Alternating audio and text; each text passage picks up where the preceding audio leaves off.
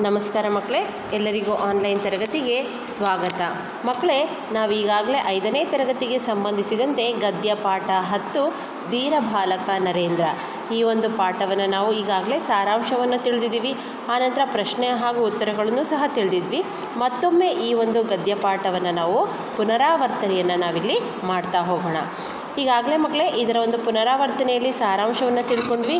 ಇದಾದ ನಂತರ ಈ ಒಂದು ಪಾಠದಲ್ಲಿ ಬರ್ತಕ್ಕಂತಹ ಪ್ರಶ್ನೆ, ಪ್ರಶ್ನೆಗಳನ್ನು ನಾವು ನೋಡ್ತಾ ಹೋಗೋಣ. ಹಾಗಾದರೆ ಮಕ್ಕಳೇ ಇಲ್ಲಿ ಕೊಟ್ಟಿರ್ತಕ್ಕಂತಹ ಪ್ರಶ್ನೆಗಳನ್ನು ನಾವು ಪುನರಾವರ್ತನೆಯ ಮೂಲಕ ನಾವೇನು ಮಾಡ್ತಾ ಇದ್ದೀವಿ? ಚರ್ಚಿಸ್ತಾ ಇದ್ದೀವಿ. ಹಾಗಾದರೆ ಕೆಳಗಿನ ಪ್ರಶ್ನೆಗಳಿಗೆ ಒಂದು ವಾಕ್ಯದಲ್ಲಿ ಉತ್ತರಿಸಿ. ಹಾಗಾದರೆ ಈ ಒಂದು ಪಾಠದಲ್ಲಿ ಬರ್ತಕ್ಕಂತಹ ಪ್ರಶ್ನೋತ್ತರಗಳು, ಬಾಲಕ ನರೇಂದ್ರನ ಮೇಲೆ ಏನು ಹರಿದು ಹೋಯಿತು? ಅಂತಂದರೆ, ಈಗಾಗಲೇ ನಾವು ಸಾರಾಂಶವನ್ನು ತಿಳಿದಿದ್ದೀವಿ ಅಂತಂದಾಗ ಇದಕ್ಕೆ ಉತ್ತರವನ್ನು ಹುಡುಕೋದು ಸಹ ಬಹಳ ಸುಲಭ ಸುಲಭ ಆಗುತ್ತೆ ಮಕ್ಕಳೇ ಬಾಲಕ ನರೇಂದ್ರನ ಮೇಲೆ ಹಾವೊಂದು ಹರಿದು ಹೋಯಿತು. ಆನಂತರ ಎರಡನೇ ಪ್ರಶ್ನೆ, ನರೇಂದ್ರ ತೋಟದಲ್ಲಿ ಯಾರಿಗಾಗಿ ಕಾದನು? ನರೇಂದ್ರ ತೋಟದಲ್ಲಿ ಗೆಳೆಯರಿಗಾಗಿ ಕಾದನು? ರಾಮಕೃಷ್ಣ ಪರಮಹಂಸರು ನರೇಂದ್ರನನ್ನು ಯಾವ ಹೆಸರಿನಿಂದ ಕರೆದರು? ರಾಮಕೃಷ್ಣ ಪರಮಹಂಸರು ಸ್ವಾಮಿ ವಿವೇಕ್, ನರೇಂದ್ರನನ್ನು ಸ್ವಾಮಿ ವಿವೇಕಾನಂದ ಎಂಬ ಹೆಸರಿನಿಂದ ಕರೆದರು. ನಾಲ್ಕನೆಯ ಪ್ರಶ್ನೆ, ಸ್ವಾಮಿ ವಿವೇಕಾನಂದರು ಜನರಿಗೆ ಕೊಟ್ಟ ಸಂದೇಶವೇನು? ಸ್ವಾಮಿ ವಿವೇಕಾನಂದರು ಏಳಿ ಎದ್ದೇಳಿ ಅಂತಂದರೆ ಜನರಿಗೆ ಯಾವ ರೀತಿಯ ಸಂದೇಶವನ್ನು ಕೊಡ್ತಾರೆ ಅಂತಂದರೆ, ಏಳಿ ಎದ್ದೇಳಿ, ಎಚ್ಚರಗೊಳ್ಳಿರಿ, ಗುರಿ ಮುಟ್ಟುವವರೆಗೂ ನಿಲ್ಲದಿರಿ, ಶಕ್ತಿಯೇ ಜೀವನ, ದೌರ್ಬಲ್ಯವೇ ಮರಣ ಎಂಬ ಎಂದು ಜನರಿಗೆ ಸಂದೇಶವನ್ನು ಕೊಟ್ಟರು. ಸ್ವಾಮಿ ವಿವೇಕಾನಂದರು ಜನರ ಕಷ್ಟ ಹೇಗೆ ಹರಿತರು ಅಂತಂದರೆ, ಇವರು ಸ್ವಾಮಿ ವಿವೇಕಾನಂದರು ಭಾರತಕ್ಕೆ ಬಂದ ಮೇಲೆ ಇವರು ದೇಶದ ಸುಂಬ, ತುಂಬ ಸುತ್ತುವ ಒಂದು ಮೂಲಕ, ಸು, ಜ, ದೇಶವನ್ನು ಸುತ್ತುವ ಮೂಲಕ ಜನರವನ್ನು, ಜನರ ಕಷ್ಟವನ್ನು ಅರಿತರು. ಅರ್ಥ ಆಯ್ತಲ್ಲ ಮಕ್ಕಳೇ? ಇದಿಷ್ಟು ಒಂದು ವಾಕ್ಯದಲ್ಲಿ ಉತ್ತರಿಸಿ. ಆನಂತರ ಎರ, ಕೆಳಗಿನ ಪ್ರಶ್ನೆಗಳಿಗೆ ಎರಡು ಮೂರು ವಾಕ್ಯಗಳಲ್ಲಿ ಉತ್ತರಿಸಿ. ಹಾಗಾದರೆ ಈ ಒಂದು ಪ್ರಶ್ನೆಗಳಿಗೆ ನಾವು ಎರಡು ಅಥವಾ ಮೂರು ವಾಕ್ಯಗಳಲ್ಲಿ ಉತ್ತರಿಸಬೇಕಾಗತ್ತೆ. ಬಾಲಕ ನರೇಂದ್ರನ ಮೇಲೆ ಹಾವು ಹರಿದ ಪ್ರಸಂಗ ಯಾವುದು? ಹಾಗಾದರೆ ಬಾಲಕ ಏನು ಮಾಡ್ತಿದ್ದ ಅಂತಂದರೆ ಕಣ್ಮುಚ್ಚಿ ಚಿಂತನೆಯನ್ನು ಮಾಡ್ತಿದ್ದ. ಆಗ ಅವನಿಗೆ ಮೈ ಮೇಲೆ ಪರಿವಿರಲಿಲ್ಲ. ಅವನ ಮೇಲೆ ಏನಾಗುತ್ತೆ?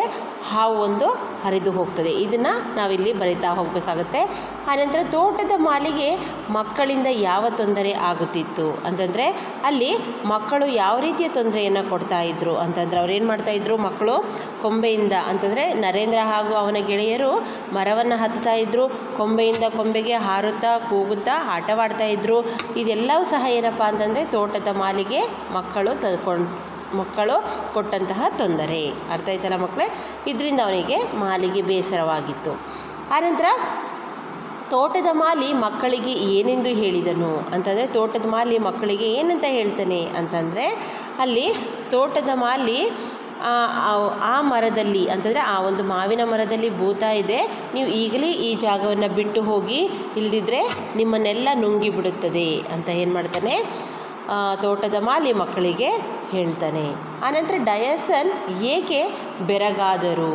ಅಂತಂದರೆ ಡಯರ್ಸನ್ ಏನಕ್ಕೆ ಬೆರಗಾದರು ಅಂತಂದರೆ ಡಯರ್ಸನ್ ಅವರ ಮನೆಯಲ್ಲಿ ಅವರ ಮನೆಯಲ್ಲಿ ಪುಸ್ತಕ ಓದುತ್ತಾ ಕುಳಿತಾಗ ಅಂತಂದರೆ ವಿವೇಕಾನಂದರು ಡಯರ್ಸನ್ ಮನೆಗೆ ಹೋಗಿರ್ತಾರೆ. ಆಗ ಅವರು ಪುಸ್ತಕವನ್ನು ಓದ್ತಾ ಕುಳಿತಾ ಇರ್ತಾರೆ. ಆಗ ಕುಳಿತಾಗ ವಿವೇಕಾನಂದರು ಓದಿನ ಗುಂಗಿನಲ್ಲಿ ಡಯರ್ಸರ್ ಡಯರ್ಸನ್ ಅವರನ್ನು ಗಮನಿಸಲಿಲ್ಲ. ಆಗ ಅವ್ರು ಏನು ಮಾಡ್ತಾರೆ, ಮುಂದೆ ವಿವೇಕಾನಂದರೊಡನೆ ಮಾತನಾಡಲು ಆರಂಭಿಸಿದಾಗ, ಪುಸ್ತಕದಲ್ಲಿದ್ದಂತಹ ನೂರಾರು ಸಾಲುಗಳನ್ನು ಅದರಂತೆ, ಪುಸ್ತಕದಲ್ಲಿ ಯಾವ ರೀತಿ ಇತ್ತಲ್ಲ, ಅದರಂತೆ ಅವರು ಉದಾಹರಿಸ್ತಾ ಇದ್ದರು ಇದನ್ನು ಕಂಡು ಡಯರ್ಸನ್ ಅವರು ಬೆರಗಾದರು.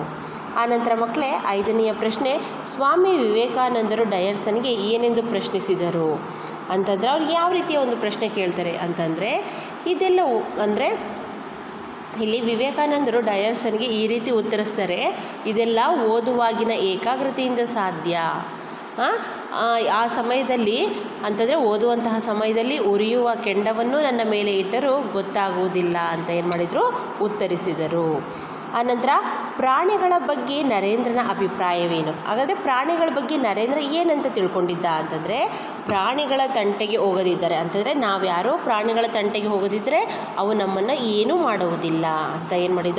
ಪ್ರಾಣಿಗಳ ಒಂದು ಬಗ್ಗೆ ಅವನ ಅಭಿಪ್ರಾಯ ಏನಂತಂದರೆ, ನಾವು ಯಾವುದೇ ರೀತಿಯ ಪ್ರಾಣಿಗಳನ್ನು ನಾವು ಹಿಂಸಿಸಬಾರದು ಅನ್ನೋದು ಅವನ ಅಭಿಪ್ರಾಯ ಆಗಿತ್ತು. ಆನಂತರ ಭೂತದ ಬಗೆಗೆ ನರೇಂದ್ರನ ವಿಚಾರಗಳೇನು? ಅಂತಂದರೆ ಭೂತನ ಬಗ್ಗೆ ನರೇಂದ್ರನಿಗೆ ಯಾವ ರೀತಿಯ ಒಂದು ವಿಚಾರಗಳಿತ್ತು ಅನ್ನೋದಾತಂದರೆ ಭೂತದ ಬಗ್ಗೆ ಅವನು ಏನು ಮಾಡ್ತಾ ಇದ್ದ?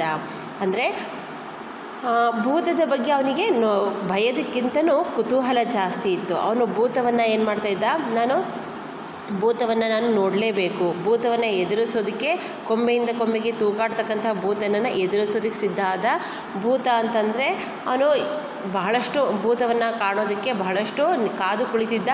ಆಗ ಏನು ಮಾಡ್ತಾನೆ? ಭೂತ ಬರದೇ ಇದ್ದಂತಹ ಸಂದರ್ಭದಲ್ಲಿ ಇದು ಭಯದ ಒಂದು ಉಪಾಯ. ಅಂದರೆ ಮಾಲಿ ಭಯದಕ್ಕೋಸ್ಕರ ಅಂತಂದರೆ ಭಯವನ್ನು ಹುಟ್ಟು ಹಾಕೋದಕ್ಕೋಸ್ಕರ ಈ ರೀತಿ ಉಪಾಯ ಮಾಡಿದ್ದಾನೆ ಅಂತ ತಿಳಿದು ಏನು ಮಾಡ್ತಾನೆ? ಯಾವುದೇ ರೀತಿಯ ಭೂತ ಇಲ್ಲ. ಅದಕ್ಕೆ ಯಾವುದೇ ಇಂತಹ ಭಯದ ಮಾತುಗಳನ್ನು ನಂಬಬಾರದು ಅಂತ ಏನು ಮಾಡ್ತಾನೆ ಅವನು? ತನ್ನ ಗೆಳೆಯರಿಗೆ ತಿಳಿಯನ್ನು ಹೇಳ್ತಾನೆ. ಆನಂತರ ಮಕ್ಕಳೇ, ಎಂಟನೆಯ ಪ್ರಶ್ನೆ, ಏಕಾಗ್ರತೆ ಎಂದರೇನು? ಅಂತಂದರೆ, ಏಕಾಗ್ರತೆ ಅಂದರೆ ಕಾನ್ಸಂಟ್ರೇಷನ್ ಕಾ, ಏಕಾಗ್ರತೆ ಎಂದರೇನು? ಅಂತಂದರೆ, ಒಂದೇ ಮನಸ್ಸಿನಿಂದ ದೃಢವಾಗಿ ಒಂದು ವಿಷಯದ ಕಡೆಗೆ ಮನಸ್ಸನ್ನು ಕೇಂದ್ರೀಕರಿಸುವುದು. ಅಂದರೆ, ಒಂದು ವಿಷಯದ ಕಡೆಗೆ ಮನಸ್ಸನ್ನು ಕೇಂದ್ರೀಕರಿಸುವುದನ್ನು ನಾವು ಏಕಾಗ್ರತೆ ಅಂತ ಕರಿತೀವಿ. ಒಂದೇ ಮನಸ್ಸಿನಿಂದ ದೃಢವಾಗಿ ಒಂದು ವಿಷಯದ ಕಡೆಗೆ ಮನಸ್ಸನ್ನು ಕೇಂದ್ರೀಕರಿಸುವುದನ್ನು ನಾವು ಏಕಾಗ್ರತೆ ಅಂತ ನಾವು ಕರಿತೀವಿ. ಅರ್ಥ ಆಯ್ತಲ್ಲ ಮಕ್ಕಳೇ? ಇದಿಷ್ಟು ಎರಡು ಮೂರು ವಾಕ್ಯಗಳಿಗೆ ಸಂಬಂಧಪಟ್ಟಂತಹ ಉತ್ತರಗಳು. ಇದಾದ ನಂತರ ಮಕ್ಕಳೇ, ಕೆಳಗಿನ ವಾಕ್ಯಗಳನ್ನು ಯಾರು ಯಾರಿಗೆ ಹೇಳಿದರೂ ತಿಳಿಸಿರಿ. ಹಾಗಾದರೆ ಇಲ್ಲಿ ಒಟ್ಟು ನಾಲ್ಕು ಮಾ, ನಾಲ್ಕು ವಾಕ್ಯಗಳನ್ನು ಕೊಟ್ಟಿದ್ದಾರೆ. ಅದರಲ್ಲಿ ಮೊದಲನೆಯದು ಪ್ರಾಣಿಗಳ ತಂಟೆಗೆ ಹೋಗದಿದ್ದರೆ ಅವು ನಮ್ಮನ್ನು ಏನೂ ಮಾಡುವುದಿಲ್ಲ.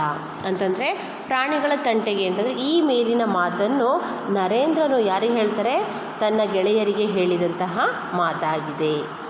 ಇಲ್ಲಿ ಈ ಮಾ, ಮೇಲಿನ ಮಾತನ್ನು ನರೇಂದ್ರನು ತನ್ನ ಗೆಳೆಯರಿಗೆ ಹೇಳಿದ ಮಾತಾಗಿದೆ. ಆನಂತರ ಎರಡನೆಯ ಒಂದು ವಾಕ್ಯ, ಭಯದ ಮಾತುಗಳನ್ನು ನಂಬಬಾರದು. ಅಂತಂದರೆ ಈ ಮೇಲಿನ ಮಾತನ್ನು ನರೇಂದ್ರನು ತನ್ನ ಗೆಳೆಯರಿಗೆ ಹೇಳಿದಂತಹ ಮಾತಾಗಿದೆ. ಹಾಗಾದರೆ ಮೂರನೆಯ ಒಂದು ವಾಕ್ಯ, ಇದು ಹೇಗೆ ಸಾಧ್ಯ? ಅಂತಂದರೆ ಇಲ್ಲಿ ಡಯರ್ಸನ್ ವಿವೇಕಾನಂದರಿಗೆ ಕೇಳಿದಂತಹ ಒಂದು ಮಾತಾಗಿದೆ. ಆನಂತರ ನಾಲ್ಕನೆಯ ಒಂದು ವಾಕ್ಯ, ಶಕ್ತಿಯೇ ಜೀವನ, ದೌರ್ಬಲ್ಯವೇ ಮರಣ. ಇಲ್ಲಿ ಇದನ್ನು ಯಾರು ಹೇಳಿದರು? ಸ್ವಾಮಿ ವಿವೇಕಾನಂದರು ಜನರಿಗೆ ಕೊಟ್ಟಂತಹ ಒಂದು ಸಂದೇಶ. ಯಾವುದು? ಶಕ್ತಿಯೇ ಜೀವನ, ದೌರ್ಬಲ್ಯವೇ ಮರಣ. ಇದಿಷ್ಟು ಮಕ್ಕಳೇ, ಈ ಒಂದು ಪಾಠಕ್ಕೆ ಸಂಬಂಧಪಟ್ಟಂತಹ ವಾಕ್ಯಗಳು ಯಾರು? ಯಾರಿಗೆ ಹೇಳಿದರು. ಅರ್ಥ ಆಯ್ತಲ್ಲ ಮಕ್ಕಳೇ? ಇದಾದ ನಂತರ ಈ ಪಾಠದಲ್ಲಿ ಬರ್ತಕ್ಕಂತಹ ಭಾಷಾಭ್ಯಾಸ. ಇಲ್ಲಿ ಕೆಲವು ಈ ಕೆಳಗಿರ್ತಕ್ಕಂತಹ ಪದಗಳನ್ನು ಸ್ವಂತ ವಾಕ್ಯದಲ್ಲಿ ಬಳಸಿ ಬರೆಯಿರಿ. ಅಂತಂದರೆ ಇಲ್ಲಿ ಕೆಲವು ಪದಗಳನ್ನು ಕೊಟ್ಟಿದ್ದಾರೆ, ಇದನ್ನು ನಾವು ಸ್ವಂತ ವಾಕ್ಯದಲ್ಲಿ ಬಳಸಿ ಹೇಳ್ತಾ ಹೋಗಬೇಕಾಗುತ್ತೆ. ಸಿದ್ಧನಾಗು. ನನ್ನ ದೇಶ ಸೇವೆಗಾಗಿ ನಾನು, ಅಂದರೆ ನನ್ನ ದೇಶ ಸೇವೆಗಾಗಿ ನಾನು ಸದಾ ಸಿದ್ಧನಾಗುತ್ತೇನೆ. ಆನಂತರ ಏಕಾಗ್ರತೆ. ಏಕಾಗ್ರತೆ ಅಂದರೆ ಕಾನ್ಸಂಟ್ರೇಷನ್ ಪಾಂಡವರು ವಿದ್ಯೆಯನ್ನು ಏಕಾಗ್ರತೆಯಿಂದ ಕಲಿತರು. ಆನಂತರ ಕಣ್ಮುಚ್ಚಿ. ವೃದ್ಧರು ಕಷ್ಟದ, ಕಷ್ಟಪಡುವಾಗ ನಾವು ಕಣ್ಮುಚ್ಚಿ ಕುಳಿತಿರಬಾರದು. ಆನಂತರ ಕುತೂಹಲ. ಜಾದೂಗಾರನ ಜಾದುವನ್ನು ನೋಡಿ ನನ್ನ ಕುತೂಹಲ ಹೆಚ್ಚಾಯಿತು. ಆನಂತರ ಉಪಾಯ. ಅಪಾಯ ಬಂದಾಗ ಉಪಾಯದಿಂದ ಯೋಚಿಸಬೇಕು. ಇದಿಷ್ಟು ಮಕ್ಕಳೇ ಈ ಒಂದು ಪಾಠದಲ್ಲಿ ಬರ್ತಕ್ಕಂತಹ ಸ್ವಂತ ಈ ಪದಗಳು, ಇವುಗಳನ್ನು ನೀವು ನಿಮ್ಮದೇ ಆದಂತಹ ಸ್ವಂತ ವಾಕ್ಯದಲ್ಲಿ ಬಳಸಿ ನೀವೇನು ಮಾಡ್ತಾ ಹೋಗಬೇಕಾಗತ್ತೆ? ಬರಿತಾ ಹೋಗಬೇಕಾಗತ್ತೆ. ಇದಾದ ನಂತರ ಈ ಪಾಠದಲ್ಲಿ ಬರ್ತಕ್ಕಂತಹ ಬಿಟ್ಟ ಸ್ಥಳ ನರೇಂದ್ರನು ಡ್ಯಾಶ್ ಮಾಡುತ್ತಿದ್ದಾಗ ಮೈ ಮೇಲೆ ಹಾವು ಹರಿದಾಡಿತು. ಅಂತಂದರೆ ಏನು ಮಾಡ್ತಾ ಇದ್ದ ನರೇಂದ್ರ? ಧ್ಯಾನ ಮಾಡುತ್ತಿದ್ದಾಗ. ಸರಿಯಾದಂಥ ಉತ್ತರ, ಧ್ಯಾನ. ಆನಂತರ ನರೇಂದ್ರನಿಗೆ ಭೂತದ ಬಗೆಗೆ ಡ್ಯಾಶ್ ಇತ್ತು. ಅವನಿಗೆ ಯಾವ ರೀತಿ ಇತ್ತು? ಕುತೂಹಲ, ಭಯ ಇರಲಿಲ್ಲ, ಗೌರವ ಇರಲಿಲ್ಲ, ಅಂಜಿಕೆ ಇರಲಿಲ್ಲ, ಅದರ ಬದಲಾಗಿ ಕುತೂಹಲ ಇತ್ತು. ಆನಂತರ ಮೂರನೆಯ ಒಂದು ಬಿಟ್ಟ ಸ್ಥಳ ನರೇಂದ್ರನು ಯಾ, ನಾನು ಡ್ಯಾಶ್ ಉರಿಯುವ ಕೆಂಡವನ್ನು ನನ್ನ ಮೇಲಿಟ್ಟರೂ ಗೊತ್ತಾಗುವುದಿಲ್ಲ. ಯಾವಾಗ? ಓದುವಾಗ ಉರಿಯುವ ಕೆಂಡನ ಉರಿಯುವ ಕೆಂಡವನ್ನು ನನ್ನ ಮೇಲಿಟ್ಟರೂ ಗೊತ್ತಾಗುವುದಿಲ್ಲ ಅಂತ ಹೇಳ್ತಾರೆ. ಆನಂತರ ಶಕ್ತಿಯೇ ಜೀವನ, ದೌರ್ಬಲ್ಯವೇ ಯಾವುದು? ಮರಣ. ಶಕ್ತಿಯೇ ಜೀವನ, ದೌರ್ಬಲ್ಯವೇ ಮರಣ. ಇದಾದ ನಂತರ ಮಕ್ಕಳೇ, ಈ ಪಾಠದಲ್ಲಿ ಬರತಕ್ಕಂತಹ ವಿರುದ್ಧಾರ್ಥಕ ಪದಗಳು ಭಯ, ಅಭಯ, ಕಷ್ಟ, ಸುಖ, ಜನ, ಮರಣ, ಕೀರ್ತಿ, ಅಪಕೀರ್ತಿ, ಆಸೆ, ನಿರಾಸೆ. ಅರ್ಥ ಆಯ್ತಲ್ಲ ಮಕ್ಕಳೇ? ಆನಂತರ ಪದಗಳನ್ನು ಬಿಡಿಸಿ ಬರೆಯಿರಿ. ಕಣ್ಮುಚ್ಚಿ ಒಂದು ಮಾದರಿ, ಕಣ್ಣು ಪ್ಲಸ್ ಮುಚ್ಚಿ ಕಣ್ಮುಚ್ಚಿ ಹಾ ಒಂದು, ಹಾವು ಪ್ಲಸ್ ಒಂದು, ಹಾ ಒಂದು, ನರೇಂದ್ರ, ನರ ಪ್ಲಸ್ ಇಂದ್ರ, ನರೇಂದ್ರ, ನೂರಾರು, ನೂರು ಪ್ಲಸ್ ಆರು, ನೂರಾರು, ಹೀಗೆಂದರು, ಹೀಗೆ ಪ್ಲಸ್ ಎಂದರು, ಹೀಗೆಂದರು. ಅರ್ಥ ಆಯ್ತಲ್ಲ ಇದಾದ ನಂತರ ಮಕ್ಕಳೇ, ಈ ಕೆಳಗೆ ನೀಡಿರುವ ಪದಗಳಲ್ಲಿ ವ್ಯಾಕರಣ ಶುದ್ಧ ಪದವನ್ನು ಸರಿ ಚಿಹ್ನೆಯಿಂದ ಗುರುತಿಸಿ. ಅಂತಂದರೆ ಇಲ್ಲಿ ಪದಗಳು ನೋಡಿದರೆ ಏನಾಗಿದೆ? ಸಮನಾಗಿ ಅಂತಂದರೆ ಇಲ್ಲಿ ಸೇಮ್ ಅಂತಂದರೆ ಸಿಮಿಲಾರ್ ಇರ್ತಕ್ಕಂತಹ ಪದಗಳನ್ನ ಕೊಟ್ಟಿದ್ದಾರೆ. ಆದರೆ ಇದರಲ್ಲಿ ಇರ್ತಕ್ಕಂತಹ ಉಚ್ಚಾರಣೆ ಮಾತ್ರ ಏನಾಗಿದೆ? ಬೇರೆ ಆಗಿದೆ. ಇಲ್ಲಿ ಹಾವು, ಆವು ಅಂತಂದರೆ ಸರಿಯಾದಂತಹ ಒಂದು ಪದ ಯಾವುದಿಲ್ಲಿ? ಹಾವು. ಆನಂತರ ಓಡು, ಹೋಡು. ಹಾಗಾದರೆ ಸರಿಯಾದಂತಹ ಒಂದು ಪದ ಯಾವುದಿಲ್ಲಿ? ಓಡು. ಆನಂತರ ಹುಡುಗ ಹುಡುಗ. ಇಲ್ಲಿ ಹುಡುಗ. ಸರಿಯಾದಂತಹ ಒಂದು ಪದ ಹುಡುಗ. ಆನಂತರ ಭಾರತ ಭಾರತ. ಇಲ್ಲಿ ಸರಿಯಾದಂಥ ಒಂದು ಪದ ಭಾರತ. ಆನಂತರ ಅತಿಥಿ ಅತಿಥಿ. ಅಂತಂದರೆ ಸರಿಯಾದಂತಹ ಒಂದು ಪದ ಯಾವುದಿಲ್ಲಿ? ಅತಿಥಿ. ಹೀಗೆ ನಾವೇನು ಮಾಡ್ತಾ ಹೋಗಬೇಕು? ಸರಿಯಾಗಿರ್ತಕ್ಕಂತಹ ಪದಗಳಿಗೆ ನಾವು ಸರಿ ಚಿಹ್ನೆಯಿಂದ ನಾವಿಲ್ಲಿ ಗುರುತಿಸ್ತಾ ಹೋಗಬೇಕು ಮಕ್ಕಳೇ ಅರ್ಥ ಆಯ್ತಲ್ಲ ಮಕ್ಕಳೇ ಇದಿಷ್ಟು ಈ ಒಂದು ಪಾಠಕ್ಕೆ ಸಂಬಂಧಪಟ್ಟಂತಹ ಪ್ರಶ್ನೋತ್ತರಗಳು ಹಾಗೂ ಭಾಷಾಭ್ಯಾಸ. ಇದನ್ನು ನೀವೇನು ಮಾಡಬೇಕು ಮಕ್ಕಳೇ ಒಂದು ಒಂದು ಅಥವಾ ಎರಡು ಸಲ ನೀವೇನು ಮಾಡಬೇಕು? ತಪ್ಪಿಲ್ಲದೆ ಓದ್ತಾ ಹೋಗಬೇಕು.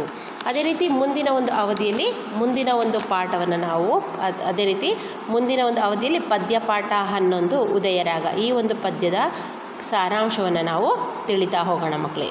ಧನ್ಯವಾದಗಳು.